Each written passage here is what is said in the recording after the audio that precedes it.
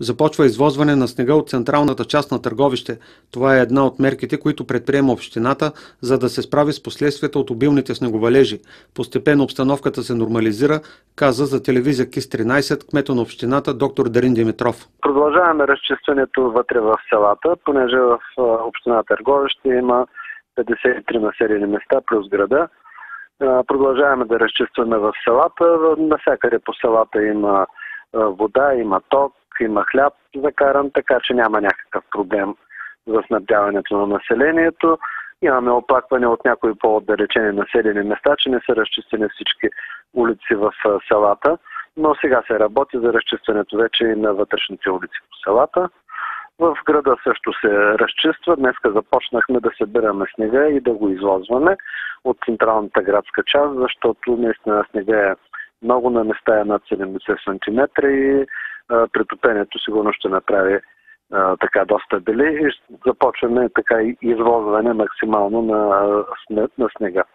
Имаме 6 човека, които са в кризисния център, който се отваря само при такива тежки кризисни ситуации, които са настанени там, хранят се. От общината за пореден път призовава шофьорите да премахнат автомобилите си от пътните платна, за да не се възпрепятства преминаването на снегопочистващата техника. Наистина има много коли по пътните платна, които даже не са разренати. Голям проблем е с тези автомобили.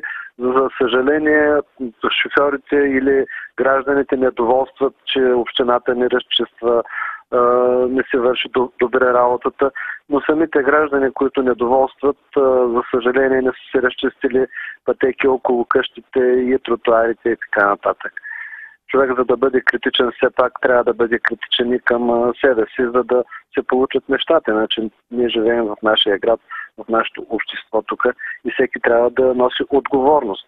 Както и хората, които имат магазини, така и гражданите, които живеят в града, трябва да изчистват площите около блоковете си. Тъй като според прогнозата през следващото денонощие се очакват поледици, от общината ще предприемат мерки за третиране на улици и пътища срещу заледяване.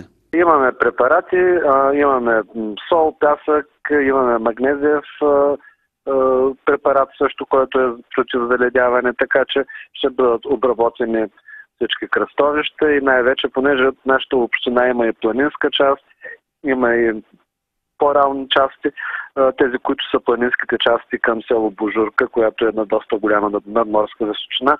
Първо там обработваме пътищата, за да могат да се движат автобусите от транспорта. С затопляне на времето започват да се образуват опасни ледени висулки от покривите.